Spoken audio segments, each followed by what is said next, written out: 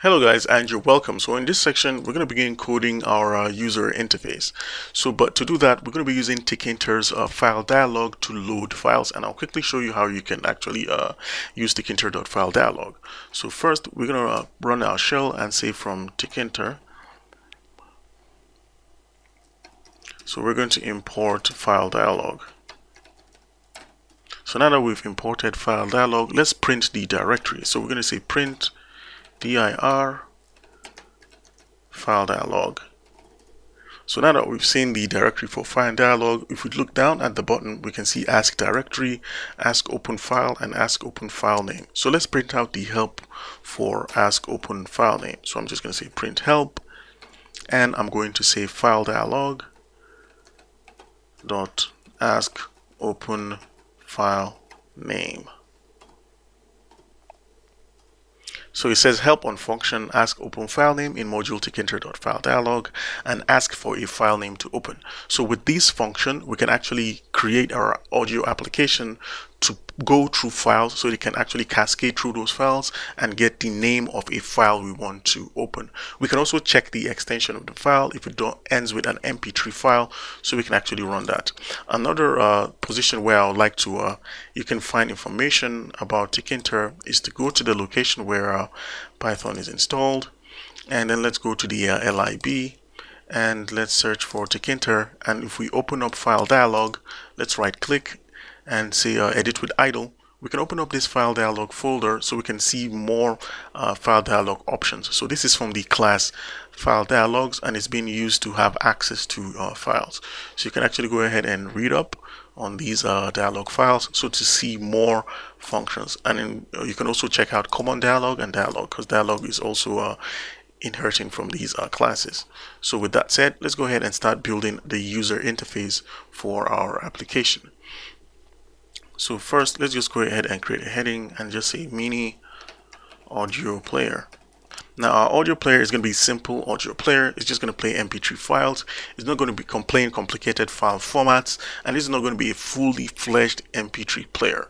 So we're just going to load a file and we're going to play that file just to test and see what we can do. You can decide to make the program complicated later on, but for now, we're just trying to keep it simple. So first, we're going to import uh,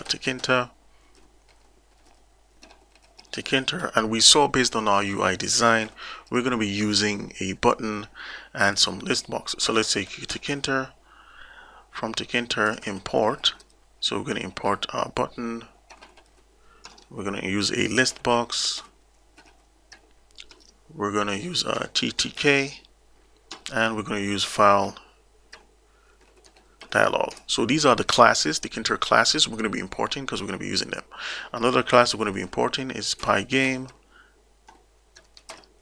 And also we're going to use the uh, OS module to actually get the file path.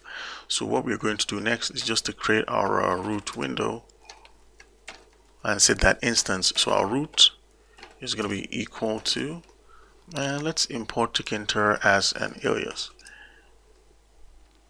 because it's common to see Tkinter being imported as an alias. And let's set that to the TK class. So now we have our object where we can have access to uh, all TK uh, classes. So the next thing we're going to do is to actually build our root windows. So uh, sorry, not build our root windows. Let's build our uh, widgets that we're going to be using to uh, have access. So first, let's create our uh, list box because we're going to be using our list box to load those files. So I'm just going to say lst underscore bx for my list box. Now we're going to say tk does list box. And we're going to set the uh, parent window to the root window. And our background, let's set that to light blue. On our foreground, let's set our foreground to black. Like that. And let's set our font to uh, Helvetica, which is my favorite font. You can actually set it to any font you want. And the font size, let's set it to 12. And let's just go ahead and pack our list box.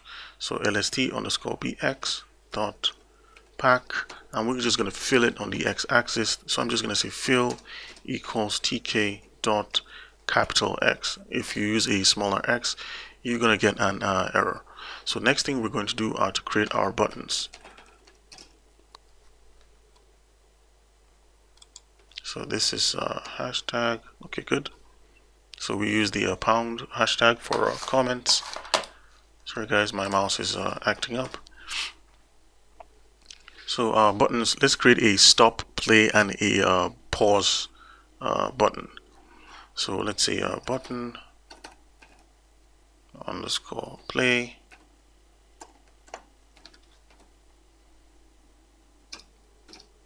so this is going to be a ttk dot uh, button. Our parent window is going to be our root window. And the text is going to be set to our play.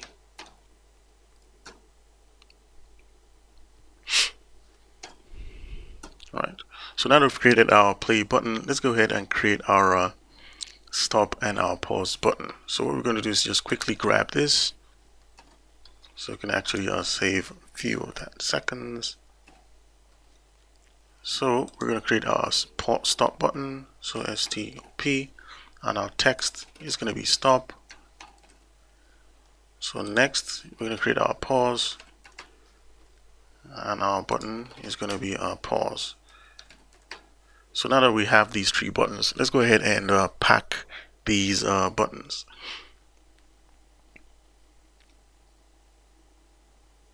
So our button underscore play. So let me just say a button underscore play dot pack and simply uh oops uh, that's going to be pack. And simply I'm going to fill this on the x-axis so tk.x and now we have our play.pack let's just go ahead and create that for our uh, for our stop.